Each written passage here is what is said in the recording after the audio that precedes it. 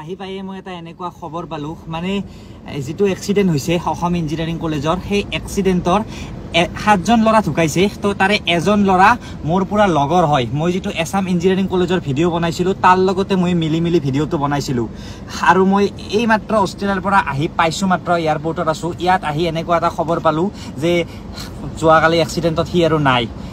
মোক কোনজন ল'ৰা আপোনালোকে গম পাব? ভিডিঅ'টো চাওকচোন।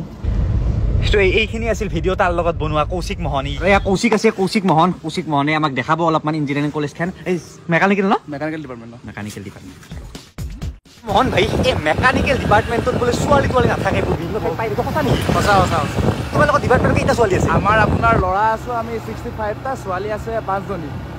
গৈ আছে। সেনেকুৱাকে সি মোক ইঞ্জিনিয়াৰিং কলেজ ফুৰাইছিল। তাৰ গাত ধৰি ধৰি হাঁহি হাঁহি। হাঁহি হাঁহি হাঁহি বাইকত একমাহ আগত বনাইছিলোঁ ইঞ্জিনিয়াৰিং কলেজৰ ভিডিঅ'টো আৰু আজি খবৰ পাইছোঁ সি নাই। অনলি সি নহয় সাত নম্বৰ হোষ্টেলতে মই গৈছিলোঁ। এই অসম ইঞ্জিনিয়াৰিং কলেজত হোষ্টেল দেখাব। আৰু সেই সাত নম্বৰ হোষ্টেলৰে গোটেইকেইটা ল'ৰা যাৰ সিমান এটা ভয়াৱহ দুৰ্ঘটনা এটা মুখামুখি হ'ল। এইখন স্কৰপিঅ' তেওঁলোকৰ যিখনত মানে এক্সিডেণ্ট হ'ল মানে। তাৰ লগতে আৰু নিয়ৰ ডেকা উপাংশু শৰ্মা অৰিন্দম ভুৱাল কৌশিক বৰুৱা ৰাজকিৰণ ভূঞা ইমন বৰুৱা।